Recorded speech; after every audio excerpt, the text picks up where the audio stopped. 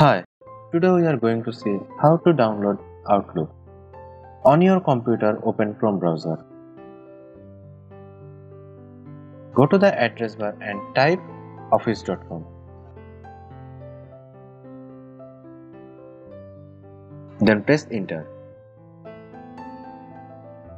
If you have no account, click sign up for the free version of Office. If you have account, then click sign in.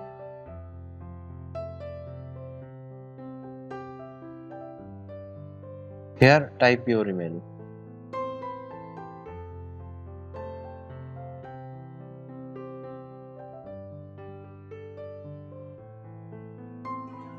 Then click next.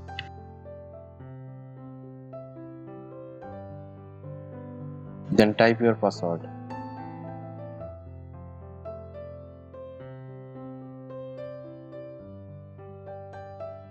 Then click sign in. This type of interface will show in your screen.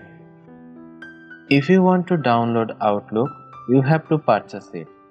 Click Install Office, then go to Premium. You have to purchase from here. I have already downloaded it. After purchasing, then here you will find your Outlook. Here is my Outlook.